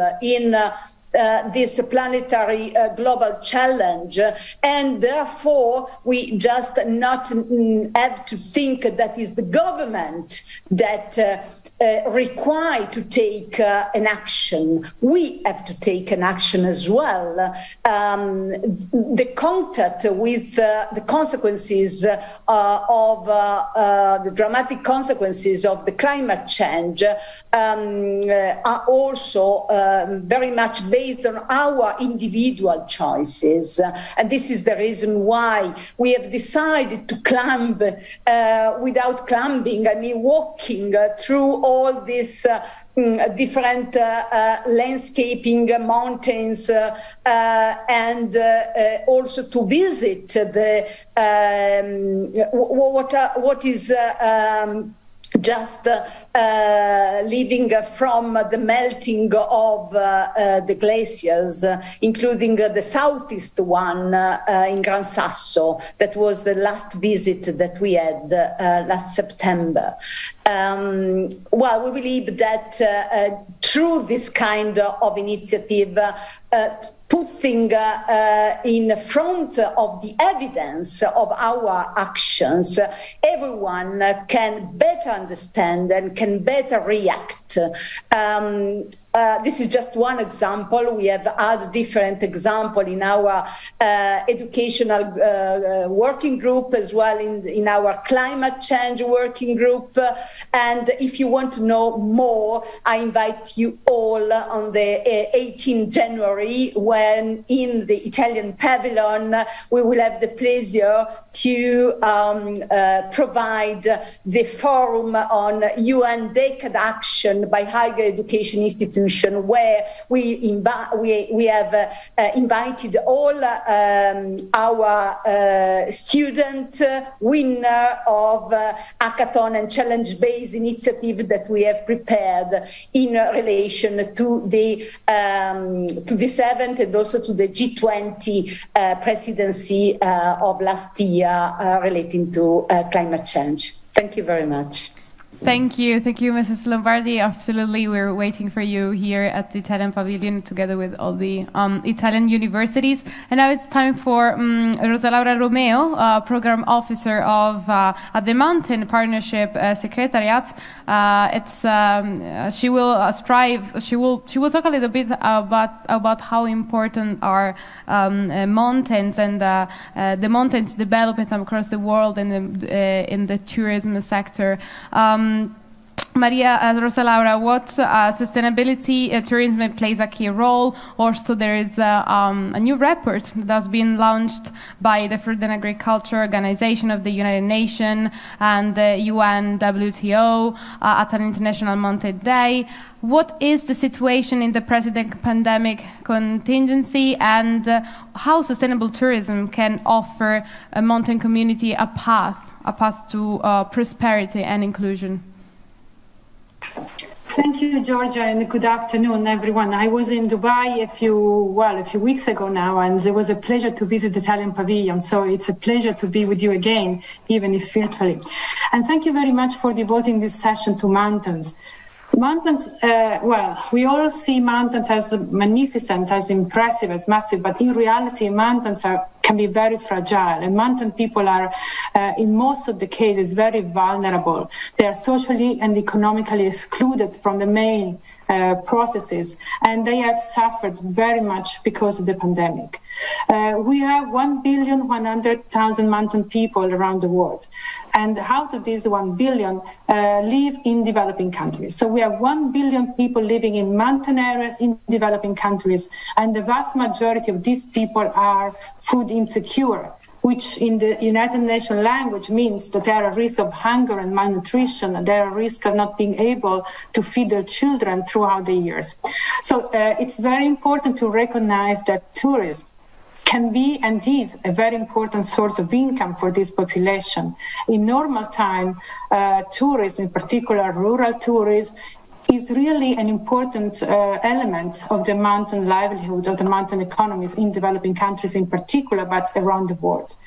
The three main areas that are supporting the mountain economies are remittances, agriculture, and tourism. And these three have been, for different reasons, very, very seriously affected by the COVID pandemics. We know that remittances have been affected by the global economic crisis that have decreased you know, the working opportunities for uh, immigrants around the world. So the remittances have decreased. The agriculture has been affected because the middlemen were not able to uh, buy these extra products from the agricultural areas. And tourism, we have heard today, and we know that uh, you know, nine, nine, well, last year, the decrease in tourism was about 74% in international tourists. And um, it's true that in many countries, uh, national tourism has no increased. So many people have looked at within their country for uh, uh, for holidays, for vacation, but this has not uh, compensated the reality of most uh, mountain communities around the world. So economic economically, mountain people are uh, no are uh, facing during this pandemic a, no a big. crisis in their income, and this is affecting a very serious situation. So this is why we have uh, uh, started this very good and close cooperation with the World Tourism Organization to first of all understand how mountain people can be supported to recover from COVID in the most, you know, in the most quick and efficient way, and also uh, to better understand how many people are going to mountain areas for tourism. You would be surprised to know that this is not at all known. We know that about 15, 20% of global tourists are going to mountain areas, but we are not absolutely sure that this data is, uh, is uh, updated. So we are working with WTO to update this information. And this is very timely, not only for the reason I've just expressed, but also because the United Nations General Assembly has just declared this year, 2022, as International Year of, the, of uh, Sustainable Mountain Development. So this year, 2022, is devoted by the United Nations to promote sustainable development in mountains, and tourism is going to be a very important component of that. So what we know is also that tourism, uh, sorry, that mountains are very seriously affected by climate change. So there is an urgent need to promote adaptation in mountain areas. And also for tourists, this is very, very relevant. Well, we know that there's no period is uh, is changing in many, many uh, parts of the world, and this is as this has a very big uh, impact on on, uh, on the winter tourists. When we see that uh, the snow period is reducing, is shrinking, we understand that the the livelihood of many people or many communities living of mountain tourism in winter is going to be very seriously modified. So it's important to expand the tourist season and uh, ensure that activities are offered around the year. So somehow it would be good if um, the opportunity of this uh, uh, slowdown on tourism could be uh, could be uh, covered with uh, training opportunities for mountain people, so that they can improve their offer of mountain tourism. Uh, to ensure that the moment the tourists will start again, they will be ready for facing this this new wave of tourism. It's also important to um, to keep in mind that it's very important that uh, tourists should benefit the vulnerable groups. So the the training should focus on on youth for sure that are the uh, well the the steward of uh, the mountain development on indigenous people that are so dominant in mountain areas and have such a rich culture and tradition that can really be of extreme interest for for, for tourists. And women who are all often left in mountain areas when men migrate in search of better job. So it's important that these activities that would focus on preparing for the new tourists uh, really target these uh, vulnerable groups, these key groups that uh, could really play a key role in promoting tourism. So I would like to say that uh, mountain people can be very creative and they are already uh, providing a wide, a very wide range of uh, opportunities for tourists. Uh, and I would like to mention just a couple here. So, for instance, in Iran, uh, we have a group of uh, uh nomad uh, communities from Bakhtiari, and they are offering to um, tourists the possibility of spending some, some days with them, traveling around the beautiful Iranian mountains. And um, and this uh, uh, has produced some significant income that has been reinvested in, uh, for instance, in uh, solar, water, heaters, etc. So the, the impact uh, was really uh, immediately beneficial for the communities. Another example that I would like to share with you is from Ladakh from India in the Himalaya, where they are organizing with the Astronomical Society some travels to look at the stars. So stargazing during the night and this has also uh, been very successful. It has improved the livelihood of many communities around the world. There, are, there is also a group of um, uh, feminist climbers that are organizing um, climbing tour for women only that are also very successful. So mountain communities are very affected by uh, by COVID, by climate change, by their social and economic exclusion, but they are also leading the recovery and they're also very creative in providing interesting solutions. And uh, so we hope that this International Year of Sustainable Mountain Development can really be uh, you know, a turning point for ensuring that mountain people are really uh, benefiting from from tourists. They are really the one that are promoting and leading the recovery from uh, from this halt on tourism in mountain areas. So thank you very much for this opportunity, and uh, let's hope we can continue working together on mountain tourism. Thank you. Thank you very much. Thank you, Shirley. Sure, we will see uh, mountains on a different light from from from your contribution, Shirley. Um, so now I want to uh, give the floor to our last guest, Yuri Basilico, who is um, who has taken an, an, unprecedented challenge uh, in his life. Yuri Basilico is the founder of Va Sentiero. Uh, Va Sentiero is a project started in 19 uh, in 2019 uh, and is engaged in the in this challenge of crossing crossing the entire Sentiero Italia, the Italian path on foot. Uh, we're talking about a 7,000 kilometers line, which is linking all the high routes of our Bel Paese, and it's, uh, um, it, it, it, win the, it won the longest track uh, in the world. Um, Yuri, please, um, what are the ingredients of this, of this wonderful journey and project that you, uh, you, have, um, you have carried on, and in the light of your experience, how it is possible to, um, to sensitize more people to embark on slow tourism? Hi, everybody. Hi, Georgia, and thank you for the invitation. Um, I'd like to start with a brief introduction to to Va Sentiero. So, uh, a few years ago, in 2016, um, we heard for the first time we heard about the Sentiero Italia or Grand Italian Trail, which is a mountain trail which crosses the whole country along its mountain chains, so the Alps, the Apennine, from Friuli Venezia Giulia to Sardinia. And actually, as you were saying, is uh, it is the longest mountain trail in the world in one of the most beautiful uh, countries in the world. So basically, it was already uh, a brand, an outstanding brand. Uh, but at the time, the Sentiero Italia was uh, pretty mm, unknown. It was abandoned. So we were very surprised uh, by the fact that such a treasure with with its impressive uh, potential for the inlands was pretty unknown. So together we had this crazy idea. We created an expedition on foot along the wall trail in order to promote the Sentiero and to awake the sleeping giant. And uh, by doing that, uh, let's say to put the Italian highlands under the spotlight, testifying their uh, actual situations, so their beauty, their fragilities. Um, we started our expedition in 2019, as you were saying, from the Gulf of Trieste in the very northeast of Italy. And during the last three years, we hiked the, all the Alps and the Apennino. And uh, a few months ago, we completed our expedition after almost uh, 8,000 kilometers on our foot. It was a kind of uh, slow tourism uh, manifesto, um, let's say. Apart from hiking, and uh, we go to your question, uh, we documented the route and the places we crossed day by day, stage by stage, uh, in order to, to publish an international guide on the territories, which you can find also on our website. And then we shared our experience, both digitally and uh, analogically speaking. So on one side, uh, we made a big social campaign.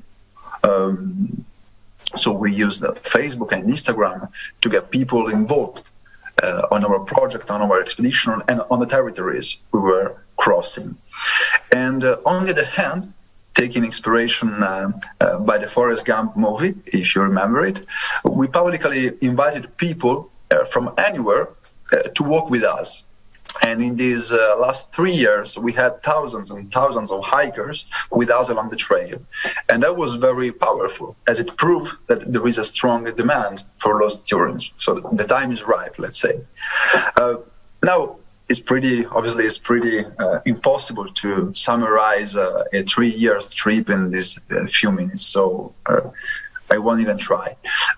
I just rather make a couple of considerations, which I hope could be useful uh, in this debate. Uh, so, slow tourism, in our experience, uh, represents a big opportunity for areas uh, of our country, but not just that, which are pretty depopulated, uh, where people uh, consider themselves as an outskirt of the country. So maybe it does not create the same economical flow than other types of tourism do, uh, still sustainable. Uh, but it helps to protect places that, despite their beauty, their massive cultural tradition, are still pretty unknown. So we can say that slow tourism is a, is a way to economically sustain these places, getting local people involved, and preserve that incredible beauty which uh, otherwise uh, we risk to lose. And that's the definition of a sustainable tourism, isn't it? Uh, in order to do that, uh, what I think uh, we all need to do is invest on uh, interaction, which is a kind of uh, the main ingredient of our project. So interaction uh, with the public, of course, in order to promote territories to make them attractive to potential tourists, creating awareness of those places, and on the other hand, to invest on interaction with the local communities. Um, along our journey, many times uh, we had the feeling that uh, interventions, so let's say government interventions to, re- to resurrect inland areas, uh, were pretty failing because they came down from above without considering the local communities and their specific needs. And uh, tourism uh, cannot be sustainable if local communities are not uh, involved. Um, and uh, finish my intervention, I think that you won't find anyone easier to involve than young people.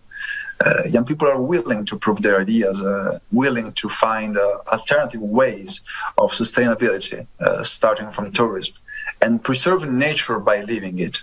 So uh, it's true that you can count on young people. At the same time, it's also true that uh, you have to count on young people. And I think that the fact that we were we are young in our project was the maybe the, the main key of our uh, success. Um, by saying goodbye, I like to share a video we created uh, about the last year of our ex- expedition, and I hope it could uh, inspire you all. So thank everybody and uh, good luck.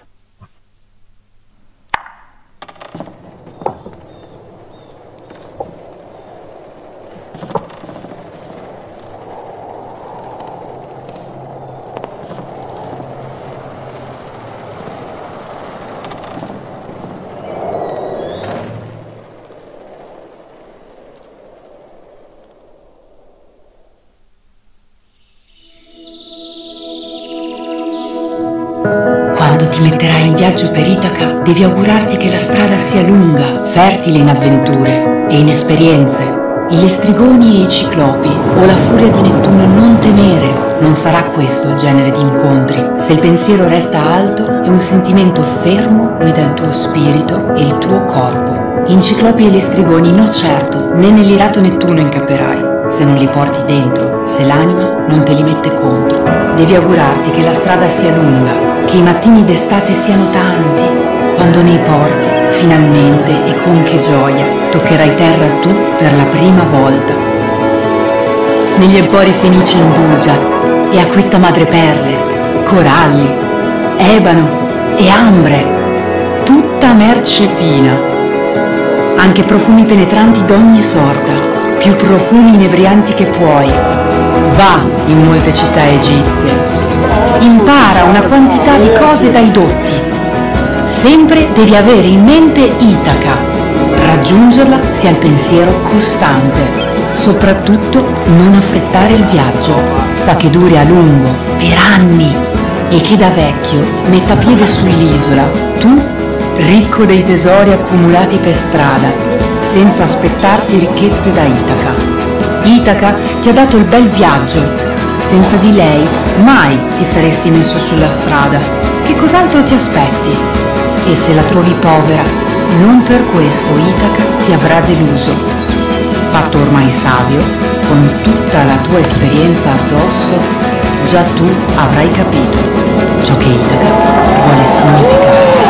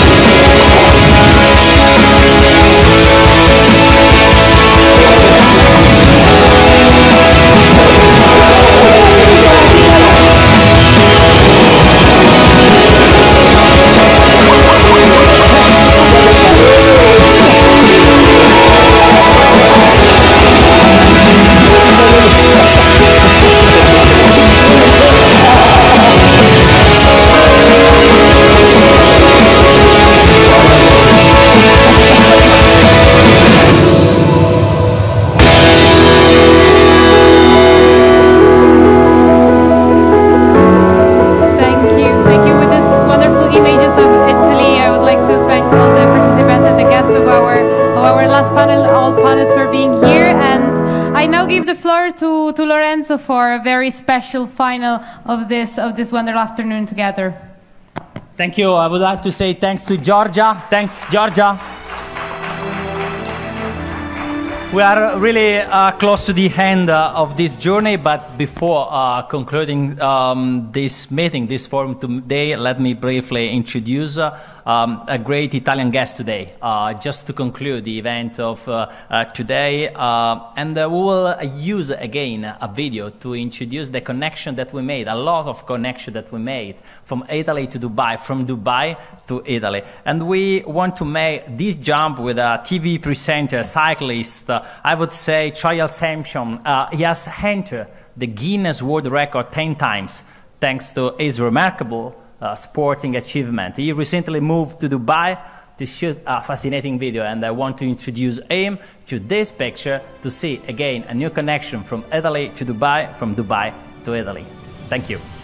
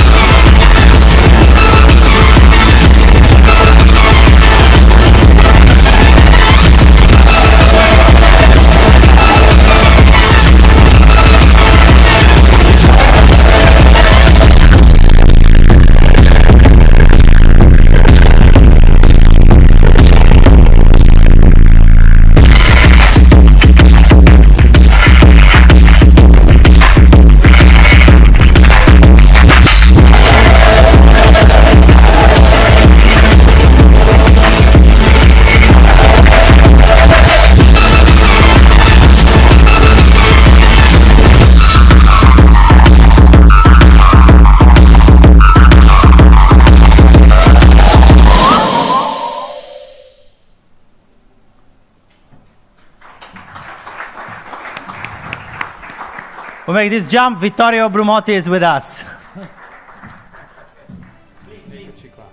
please go back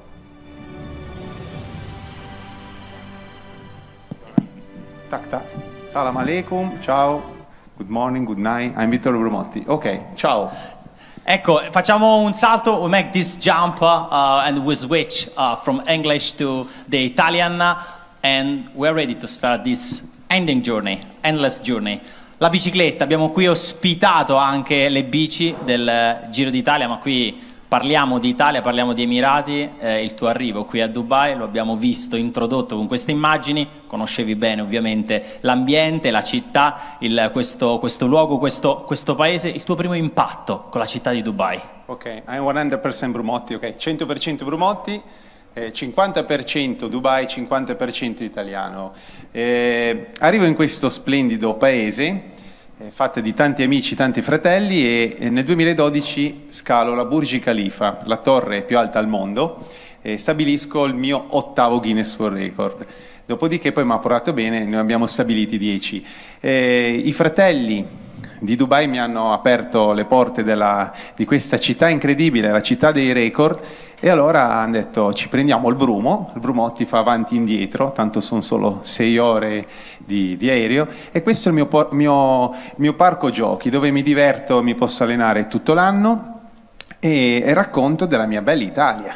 La mia bella Italia perché io sono modestamente l'ambassador del FAI, Fondo Ambiente Italiano, e racconto del paese più bello del mondo, come vi dico, e, e, um, ogni anno parto dal nord Italia e vado fin giù al Tacco e sulle isole eh, con la mia bicicletta per circa 3.000 km ehm, eh, faccio vedere agli italiani, a, a, tutte le persone che amano l'Italia, eh, queste rare bellezze che non, non sono sempre palesate, non le puoi vedere sempre, non è solo il Colosseo, non è la Torre di Pisa, non è Venezia, magari è ehm, un giardinetto che è stato recuperato, mi viene in mente il giardino della Colimbetra ad Agrigento, dove vi erano lavatrici, dove vi erano eh, bruttezze, brutture e tutto, e grazie all'impegno dei volontari è stato recuperato e adesso c'è l'arancio malfatto. Pensa, la scorza dell'arancio è reagita, è diventato un arancio bruttissimo ma dolcissimo e buonissimo. Dunque un sacco di storie da raccontare, ma come vi dicevo che sono 50% eh, in Italia e 50% qua, ho deciso di fare anche un tour negli Emirati. Qua abbiamo Matera, poi abbiamo i Trulli, poi abbiamo un citrullo, eccolo qui, sempre con la mia bicicletta, mi piace raccontare e mo tutti quanti voi eh, pensate all'ecosostenibilità. Io sono ecosostenibile da sempre e viva la bicicletta, è un po' il mio momento e sono veramente felice perché la bicicletta è il primo mezzo per tagliare il cordone ombellicone, come dicono i bambini, e riuscire a fuggire da, dai genitori e perdersi. E oggi è stata ritrovata, e guardate, mi viene la pelle d'oca, eh, ho fatto tante belle pedalate ve lo consiglio. So che c'è anche il nostro ministro qua del turismo, lo saluto eh, che, e so anche, caro Ministro, che tu pedali eh, con le bike, eh, dunque abbiamo un Ministro a pedali, evviva! Eh. E, e, anche qui abbiamo tanti amici che, che, che pedalano, anche mm, Al Maktoum, se potete vedere, eh, Rashid Al Maktoum che pedala con la bicicletta in giro per la città, Abbiamo Mr. Seider Ebo, mio carissimo amico che è l'equivalente del nostro ministro de, del turismo, eh, tutti in bicicletta. È stato fatto un piano per oltre 500 km di piste intorno a questa bellissima città dove si può praticare, fare il biking per circa 8 mesi l'anno, non è poco. E, um, un bel gemellaggio tra queste due bellissime realtà e tantissimi amici arabi che visitano l'Italia che mi chiamano e, io sono il cicerone degli amici di Dubai mi dicono Brumo voglio andare a fare lo Stelvio e dico occhio che qua è tutto piano eh. sullo Stelvio tiriamo su eh. ho una bella dieta una bella magnata eh. e, e, viva che dire viva la bicicletta e viva il FAI e viva l'Italia e viva Dubai vi faccio vedere una cosa dato che sono tutto tatuato magari vi spaventate guardate qua eh gli amici arabi ci tengono. Abbiamo tatuato la Burj Khalifa e tutto lo skyline di Dubai. Dunque ho Dubai sempre con me. Grazie allora, vi ringrazio e viva! Ciao. Grazie. Grazie Vittorio, grazie per questa testimonianza, questa connessione tra l'Italia e gli Emirati Arabi Uniti, il progetto FAI, i luoghi del cuore, eh, grazie a Intesa eh, San Paolo. Grazie perché abbiamo costruito questo ponte, ma è che è un ponte che alimentiamo dal primo di ottobre e continueremo a farlo fino alla fine eh, di Expo. E questo forse era il modo migliore anche per eh, chiudere l'incontro di oggi e non smettere mai di costruire eh, questi ponti. Abbiamo parlato di turismo, di mobilità, lo abbiamo fatto con un oggetto e qui soprattutto con una persona, ambasciatore della bici nel mondo, lo facciamo però guardando i paesaggi, tanti italiani qui rappresentati e lo facciamo sempre all'interno all'insegna di un principio che ricalchiamo e che qui è il padiglione delle competenze che lo ricalca, quello della sostenibilità, quello di un'integrazione tra uomo e natura per il nostro futuro, per tutti eh, i giovani. E quindi viva l'Italia, viva gli Emirati Arabi Uniti e diamo e ringraziamo soprattutto tutti per essere stati qui eh, con noi. Grazie.